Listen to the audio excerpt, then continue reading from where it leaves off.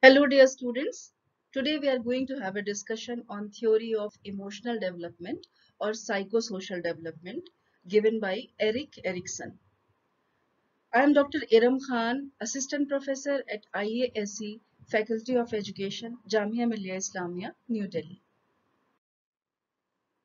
So first of all, let us see that what do we exactly mean by emotions and psychosocial development. These two are the most important terms uh, on which this entire th theory depends on. So the first term is emotions. So let, let us see what exactly emotions are. Emotions are biological states associated with the nervous system brought on by neurophysiological changes variously associated with thoughts, feelings, behavioral responses and a degree of pleasure or displeasure. Then the next term is psychosocial development. Psychosocial development refers to the emotional and psychological changes happening across the life cycle that occur in the context of the individual's social environment. So now let us see the Erikson's theory of psychosocial development. Erik Erikson was a stage theorist who took Sigmund Freud's controversial theory of psychosexual development and modified it as a psychosocial theory. Now, Erikson emphasized that the ego makes positive contributions to development by mastering attitudes, ideas, and skills at each stage of development. This mastery helps children grow into successful contributing members of the society. So uh, basically Erikson's uh, theory is having eight stages of psychosocial development. During each of Erikson's eight stages, there is a psychological conflict that must be successfully overcome for a child in order to develop into a healthy, well-adjusted adult. So let us uh, basically check on what exactly was the background behind this theory which Erikson has developed. So in the background, uh, we have got the theory of uh, psychosexual uh, development which was given by uh, Sigmund Freud.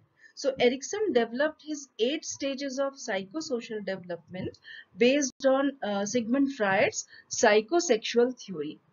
Uh, we will just have a look a very brief look on what exactly this uh, theory of Freud has to say. According to Freud, sex is the life urge or fundamental motive in life. All physical pleasures arising from any of the organs or any of the functions are ultimately sexual in nature.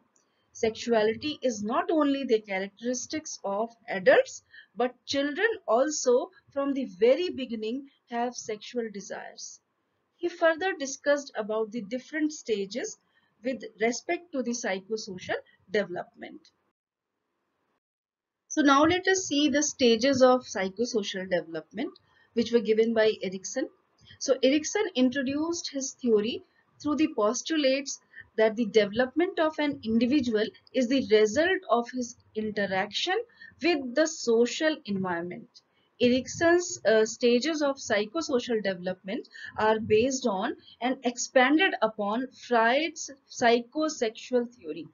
Uh, Erikson proposed that we are motivated by the need to achieve competence in certain areas of our life. According to psychosocial theory, we experience eight stages of development over our lifespan, from infancy through late adulthood. At each stage, there is a crisis or task that we need to resolve. Successful completion of each developmental task results in a sense of competence and a health uh, like, like a healthy personality. Uh, failure to master these tasks lead to feelings of inadequacy. Uh, then uh, Erikson also added to Freud's stages by discussing the cultural implications of development. Certain cultures may need to resolve the stages in different ways based upon their cultural and survival needs. So, uh, now we will just go on uh, seeing that what exactly these stages are. Like the stages of psychosocial development according to the age span. So right now you can see that there is a table uh, which is showing uh, the brief idea. It, it it can give you a brief idea that what exactly the stages of psychosocial development are uh, and then what was the uh, like specific age or period which was given by Erikson uh, regard like in front of every that particular stage. So you can see that the first stage here which is mentioned is trust versus mistrust and uh, it goes on uh, like it starts with the birth to uh, one and a half years. So in this way all those eight stages were defined and characterized by uh. So we will see all these stages one by one. So I'm coming to the next uh, part. Uh, we can see here the stage number one. This stage or, or the first stage is called as trust versus mistrust. Now let us see that what exactly this stage is all about. This stage starts from birth uh, to one or one and a half year of age uh, basically the infants must learn that adults can be trusted. So in this stage, this is the foremost thing.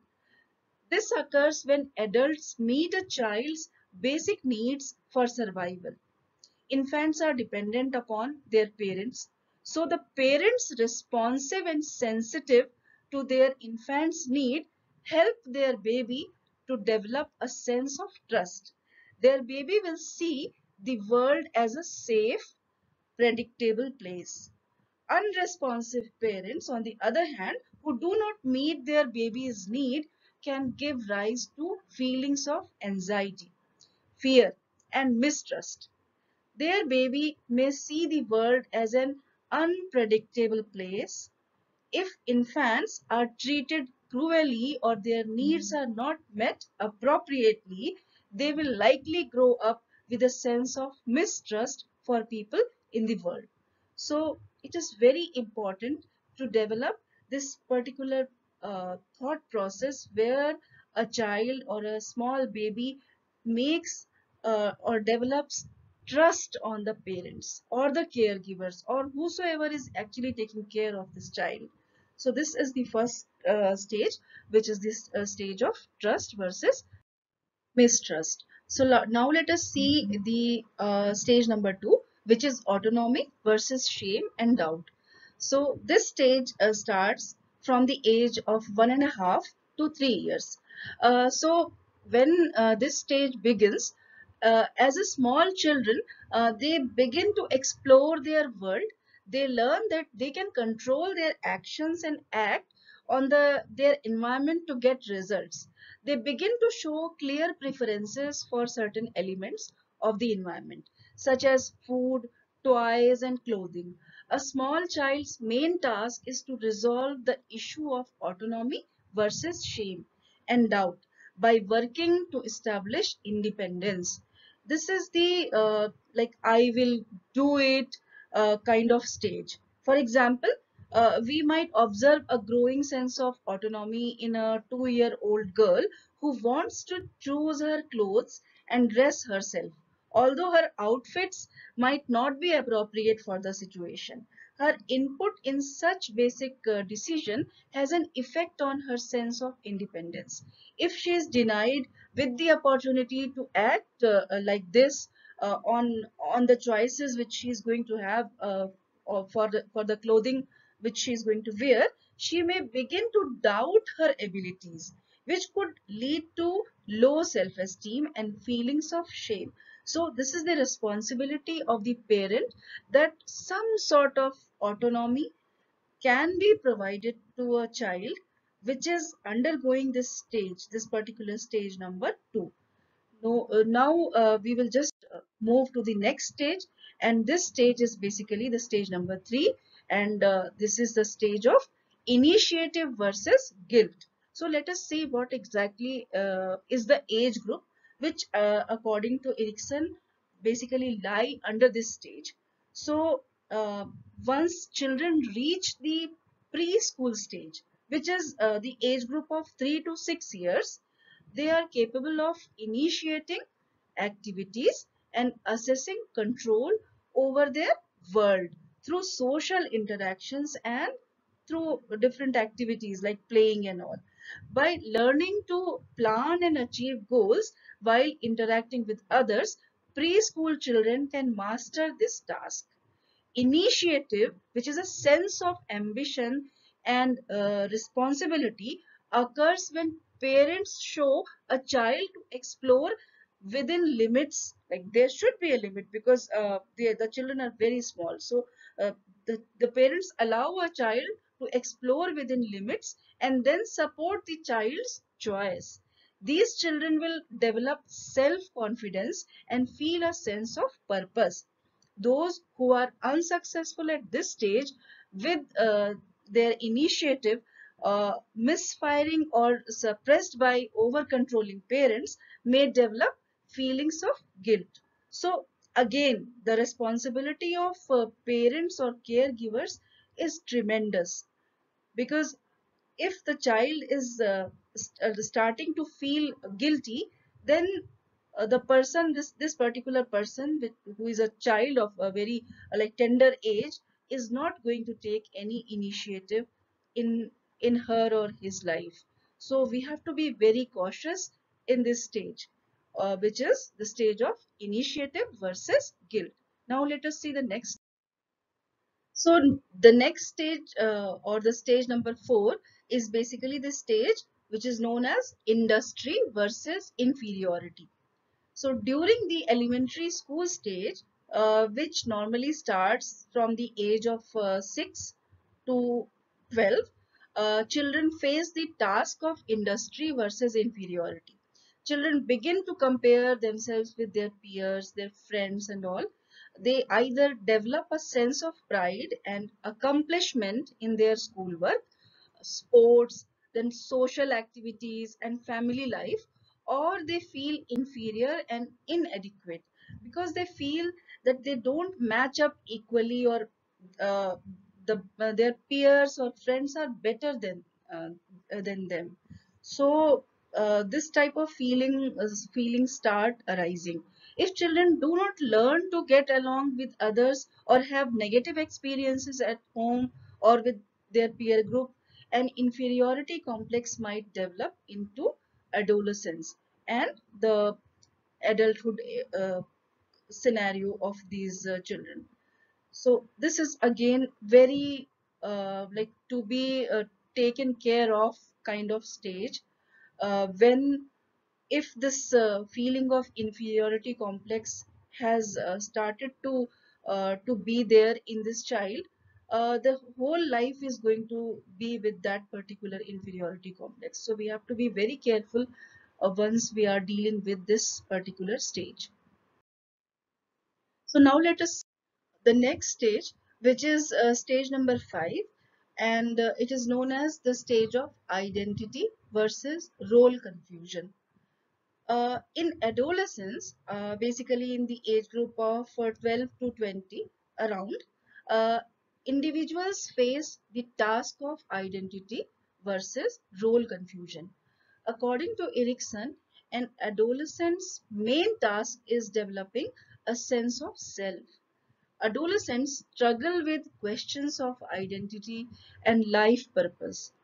Along the way, most adolescents try on many aspects of their personality to see which one fits. They explore various roles and ideas. They set goals and attempt to mm-hmm. discover their adult and mature selves. Adolescents who are successful at this stage have a strong sense of identity and are able to remain true to their beliefs and values in the face of problems and other people's perspectives. When adolescents are apathetic, do not make a conscious search for identity or are pleasured to, con uh, to conform to their parents' ideas of the future, they may develop a weak sense of self and experience role confusion. They will be unsure of their identity and confused about the future. Adolescents who struggle to adopt a positive role will likely struggle to find themselves as adults. So uh, this particular stage uh, is is somehow uh, a stage when uh, the individual tries to integrate many roles the role of a small child, role of sibling or a student, or if uh, this person is interested in athletics, so the role of athlete and then a worker or many more, uh, and and tries to emulate a image as the image of this particular person's self. So this this stage is the stage number five, and it is known as identity versus role confusion. So now we will uh, go on to the next stage and uh, this stage is basically the stage number 6 and this stage is uh, known as the stage of intimacy versus isolation. Basically people in early adulthood and uh, the phase of early adulthood, the span of early adulthood normally is uh, from 20 years to 45 years of age they are uh, concerned with intimacy versus iso uh, isolation. After we have uh, developed a sense of self in uh, adolescence, we are ready to share our lives with others. However, if our stages uh, have not been successfully resolved, young adults may have trouble uh, in developing and maintaining successful relationships with others. So if, if something wrong has happened in the earlier stages, there is a possibility that maybe the later stages are going to get some sort of difficulties. So according to Erikson, we must have a strong sense of self before we can develop successful intimate relationships. Adults who do not develop a positive self-concept in adolescence may experience feelings of loneliness, and emotional isolation. So this is this may be one of the reasons why our elders always say that once you, uh, you are settled down you are actually uh, um, some somehow settled in your life then only go on uh, getting a partner and start uh, a kind of uh, married life. So this may be one of the reasons. So now let us see the next stage the next stage is the stage of generativity versus stagnation. What exactly generativity versus stagnation stage has to do? And uh, the age group, basically the age group which lies under this stage is the middle adulthood. And uh, according to Erikson, this particular age span starts from the age of 45 years and it goes on till the age of 65 years. So when people are between the age of 45 to 65 years, they enter the time known as middle adulthood. The social task of middle adulthood is uh, generativity versus stagnation. Generativity involves finding um, you life's work and contribution to the development of others through activities such as uh, making a volunteering action, then mentoring somebody and raising children and all. So during this stage, uh, middle-aged adults begin contributing to the next generation. Often through caring for others, they also engage in meaningful and productive work, which contributes positively to the society.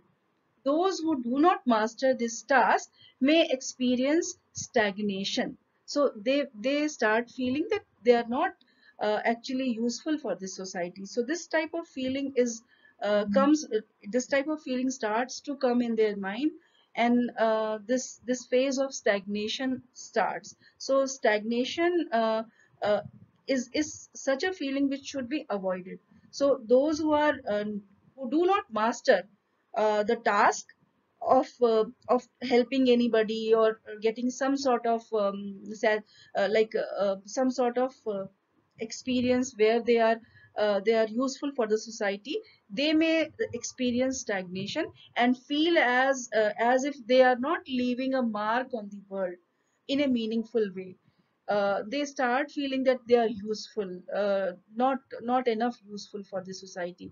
They may have a little connection with others and little interest in productivity and self improvement so all these things start to happen. So we have to be very careful if uh, if we have got a person who is uh, who is in um, the stage of uh, uh, this this particular stage and uh, we see that this person is uh, feeling some some sort of stagnation. So we have to involve that person in some sort of productive work so now let us see the next stage. And this stage is the st stage number 8 uh, also known as the stage of integrity versus despair. Uh, this particular stage uh, starts from the age of 65 years and it goes on till the end of life.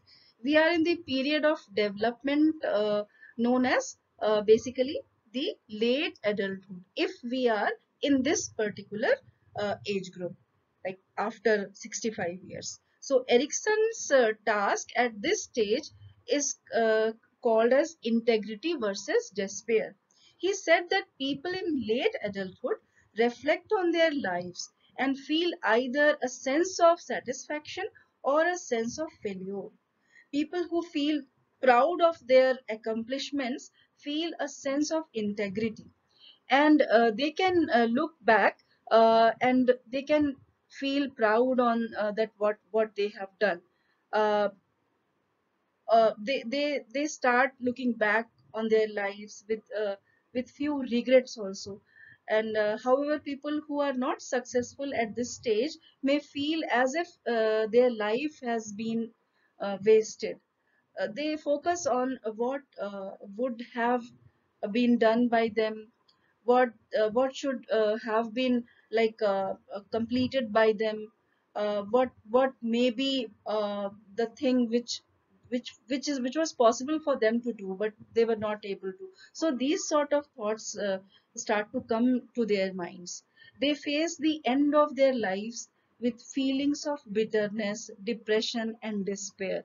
So this is our responsibility that how we are going to uh, actually uh, remove uh, these type of thoughts which are coming in our in the minds of our elders. So we have to be very much helpful and very much uh, like uh, uh, kind of uh, empathetic for them. If we see that anybody who is passing through this stage is in despair. So with this, we have come to an end to the to the theory of psychosocial development by Erikson. So now let us sum up what exactly we have studied. Erikson was a stage theorist who took Freud's controversial psychosexual theory and modified it into an eight-stage psychosocial theory of development.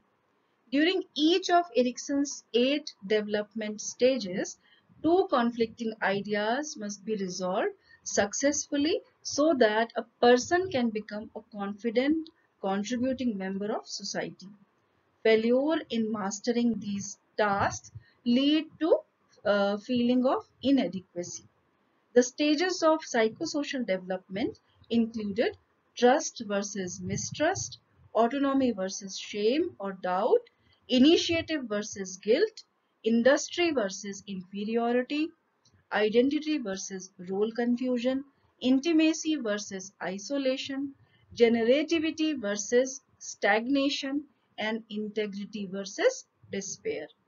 So this was all about the theory of psychosocial development by Erikson. I hope that uh, today's discussion was uh, useful and understandable to all of you. See you in the next session. Thank you so much.